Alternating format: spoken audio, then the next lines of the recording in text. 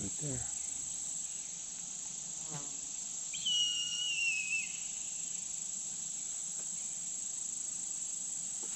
Joe, where we stand, we're about 420 feet from the road. So you'd be within 500 feet. Well, Joe just did the daunting task of going around the barns with the skid steer and the mower just so I could get a little bit closer to it. I did hear him hit a couple of hard things. Hoping his mower's okay. But he was going to try and make me a path through to that little barn, which is the other end of that one. Let's see how far I can get in there.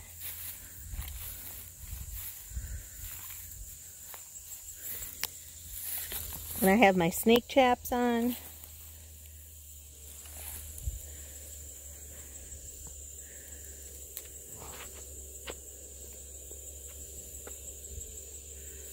I'm probably not going to be able to go in it too far yet.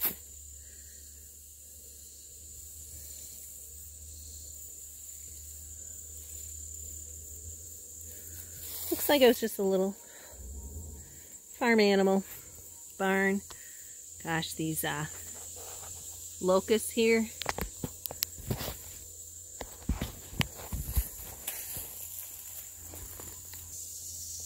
Yeah, they definitely need to go, but I don't have anything to cut them with. Oh. So I'll just try to bend them. Get out of my way a little bit. Now I have the metal detector too, we're uh, we're gonna need to clean it out a little bit more. There's a brick.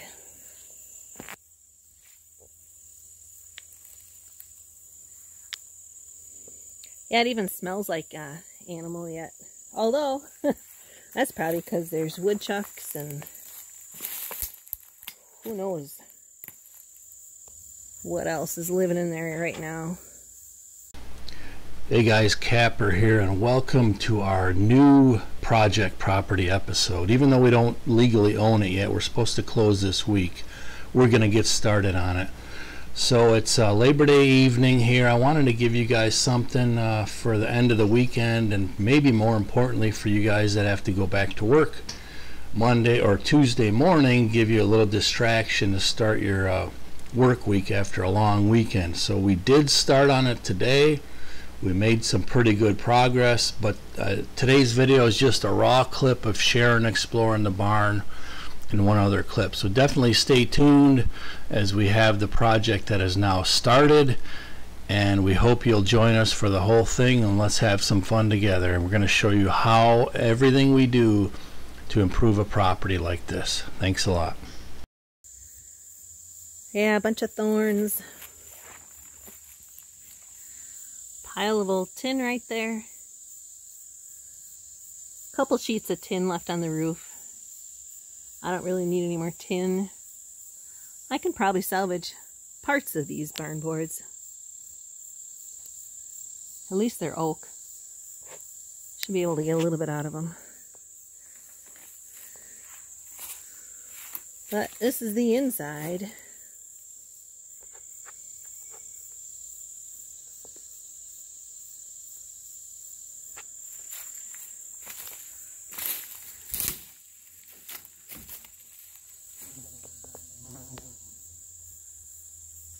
Some wire mesh up there. May have been an old chicken coop. Who knows? Nice big tree growing in the middle there.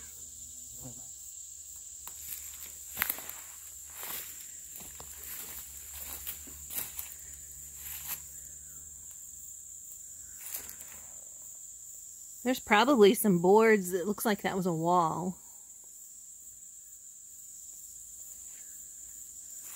Definitely get some off of there. Whoa.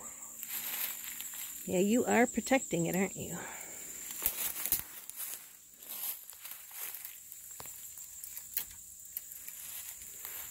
Uh, there's a door, but it looks like to be pine.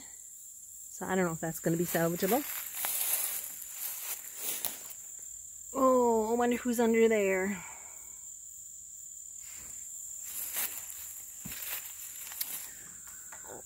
But I definitely see some uh, good boards off of this wall. Looks to be oak from here. Might be poplar, but I think it's oak.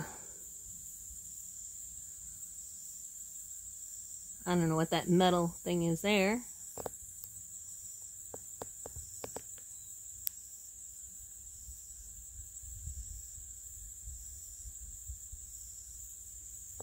That'll be interesting to lift this thing up. See who's under there.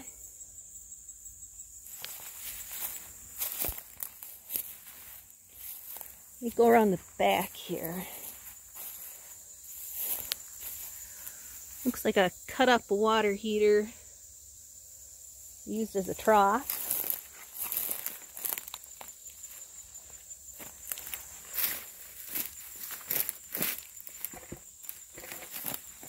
Ooh, that might be something he hit. It's pretty solid.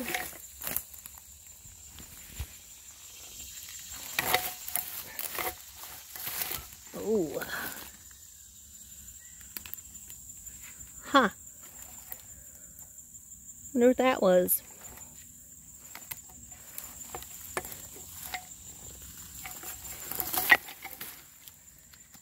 Anybody got ideas?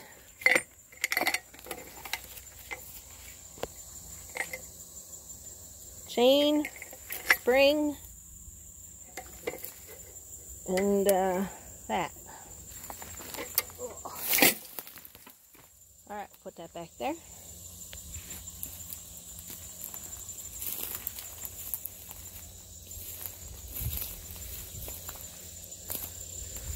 Oh, looks like there's another section of the shed here, but that's like totally gone.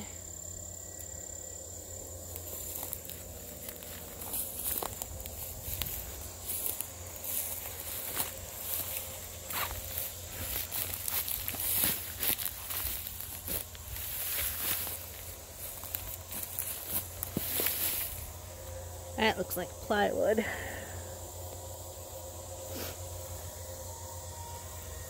But those are some boards down there. Let's keep going around.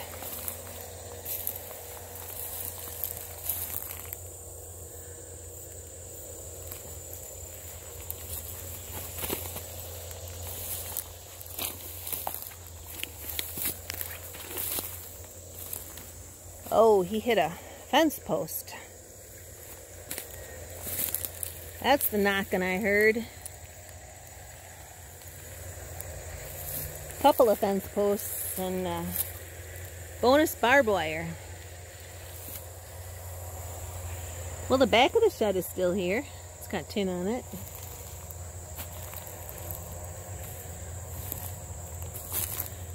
see if I can go around. Nope. I think this is where he almost tipped over. Yeah, there's more fence posts anyway. Well, that's a pretty flower. I think it's a trumpet vine. Grow wild around here.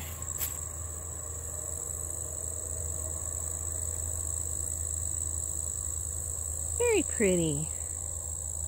Here's one that's not quite flowered yet.